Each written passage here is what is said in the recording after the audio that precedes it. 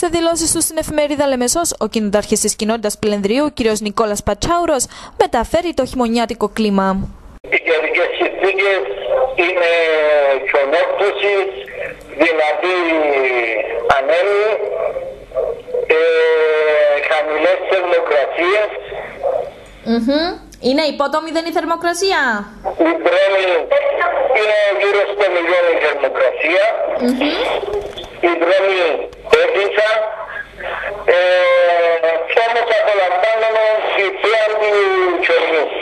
Μάλιστα. Έχει αποκλειστεί.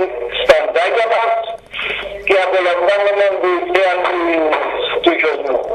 Μάλιστα. Έχει απο... Έχετε αποκλειστεί, δηλαδή, κύριε Νικόλα; Ναι, υπάρχουν δρόμοι κλειστοί, αποκλείστησαν πάρα πολλές κοινότητες. Μμμ. Ε, Πρέπει να γίνεται η κίνησης σε- με αυτοκίνητα με, ε, που έχουν αντιελυσιδικές αλυσίδες και κίνηση και στους τέσσερις τρόπους. Μάλιστα. Ε, πώς ζεσταίνεται ο κόσμος τώρα εκεί πάνω κύριε Νικόλα και λόγω του ότι ε, είναι η κρίση και δεν μπορούν να βάλουν πετρέλαιο θέρμανσης, τι συμβαίνει; Είναι το μεγαλύτερο πρόβλημα που αντιμετωπίζουν οι περισσότερες, ε, τα περισσότερα νοικοκυριά. Αυτή τη στιγμή δεν έχουν ε, πάρα πολλοί κάποιοι κυρίως ε, οι πολίτεκνοι δεν έβαλαν το πρόβλημα στη θέρμανση τους λόγω οικονομικής κρίσης. Μμμ. Αντιμετωπίζουν πραγματικά πάρα πάρα πο- πολλά προβλήματα ως προς τη θέρμανση των παιδιών τους. Μάλιστα. Δηλαδή δεν υπάρχει ζεστασιά μέσα στο σπίτι πλέον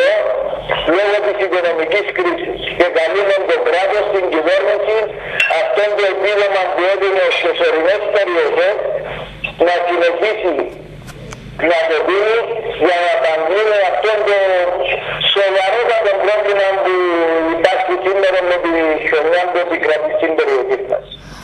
Μάλιστα. Κυρία Νικόλα, εσείς ως κοινότητα τι μέτρα έχετε λάβει για τους κατοίκους οι οποίοι δεν μπορούν να χρησιμοποιήσουν κάποιο μέσο θέρμανσης; Εμείς, ε, κοιτάξτε, παρά τα οικονομικά προβλήματα που αντιμετωπίζουν και τα κοινωνικά συμβούλια, ε, μόλις έρθει κάτι υπόψη μας θα το χειριστούμε με τον καλύτερο δυνατό τρόπο και να σταθούμε δίπλα στο συνάνθρωπο μας που μας έχει ανάγκη.